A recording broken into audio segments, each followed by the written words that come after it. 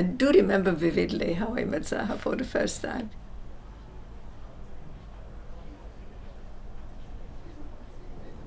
I met her at the AA because Alvin Boyarsky asked me to come to her crit. And I did not know Zaha, and uh, the crit was not only for Zaha, but for a few people in her studio. And she behaved as if she was the tutor.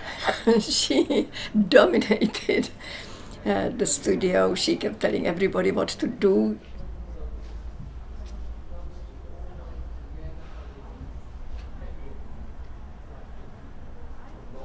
So I just of suddenly, when she started presenting her project, so to my greatest surprise, I found out that she was a student.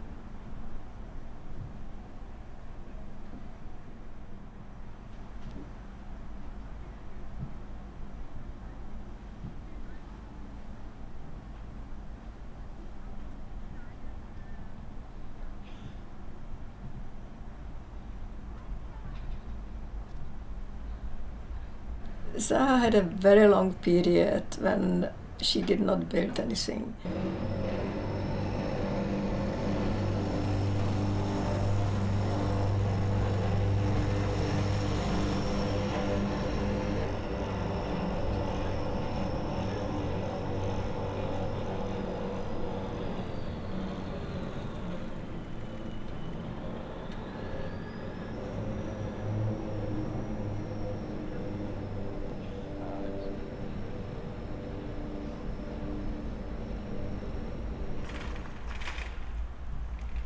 And I do remember when we were once in Los Angeles and she had her lecture and people were leaving through her lecture.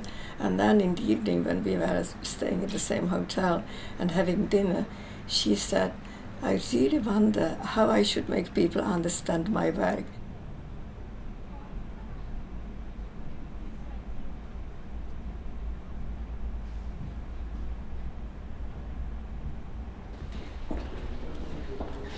She never lost her confidence. She always knew that her work was definitely outstanding. She somehow she suffered from uh, the lack of understanding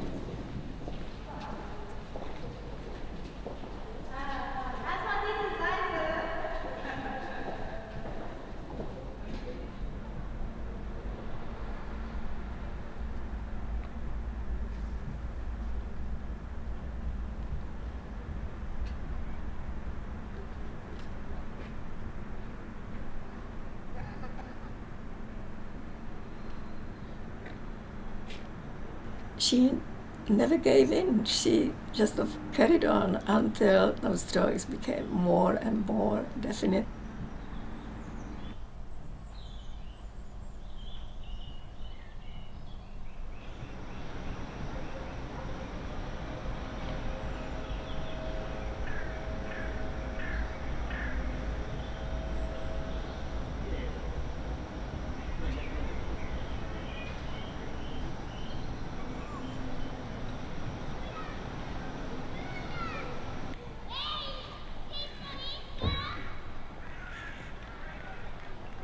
And when I went, I think the last big presentation of her work was when she was awarded the gold medal by the Royal Institute of British Architects. And when she showed all those images of realized buildings, and they were all on the screen, one after another, I think it was just of so obvious she did not have a competition.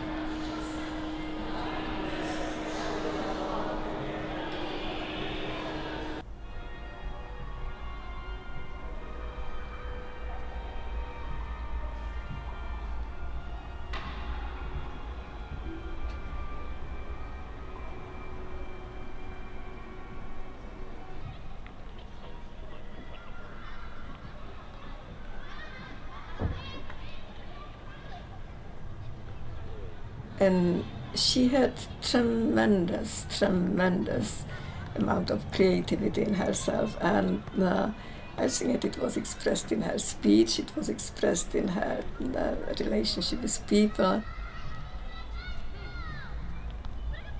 It was just of coming through every single gesture, every single comment. Um, she must have been born like that.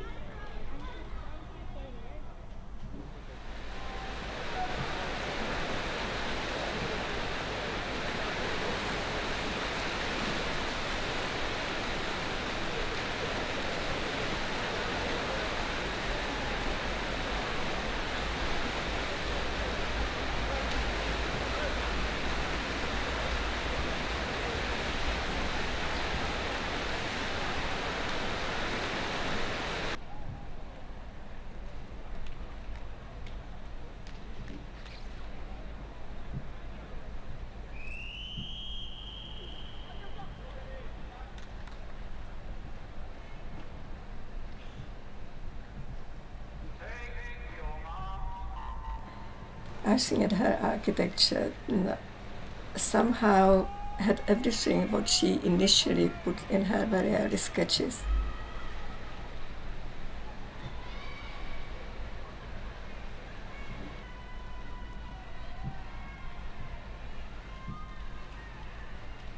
It had movement, it, it had the forms which uh, nobody had ever seen before.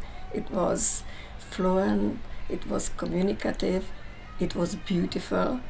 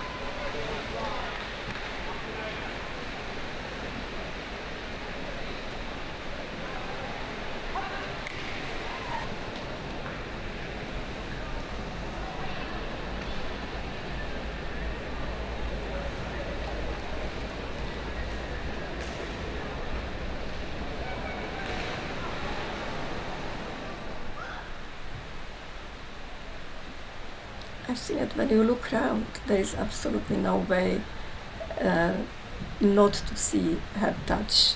You know, all over the world, wherever you come, whichever architecture magazine you see, you see a little bit of Zaha, a little bit of Zaha.